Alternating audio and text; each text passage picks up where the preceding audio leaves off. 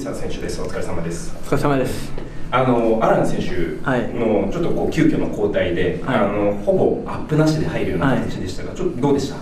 まああのーいつもスリートップの入る形とまた別な形で入ったんで、まああのでも前半少しアランのプレーを見てて、まあ同じようにやろうと思ってはい入りました。まあ前半はあのいいあのボールの運びとかあの仕掛けとか、まあチーム全体ができてできてて、まあ非常に良かったと思いますけど。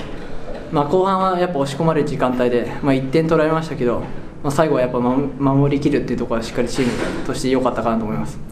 えー得点場面ちょっとはい振り返ってもらいたいんですけれども、はい泉沢選手のところから始まったように感じるんです。はいあのーまあ、センターバックの選手から、まあ、いいパスもらって、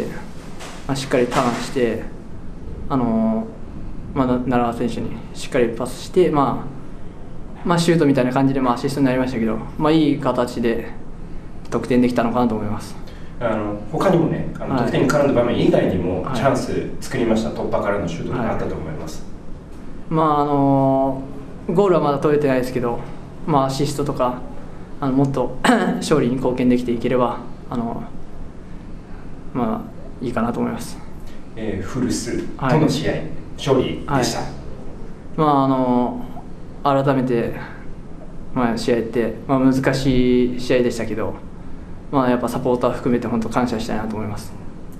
えー次節、えー今度はアウェーでの山形戦です、えーとベルディのサポーターに向けて、はいえーメッセージお願いします。えーまあ、今日もあのすごい応援していただいて、まあ、やっぱ実際アジスタでピッチに立ってすごい力になってるんであの次山形ちょっと遠いですけどあの一人でも多く来てもらって一緒に戦いましょう。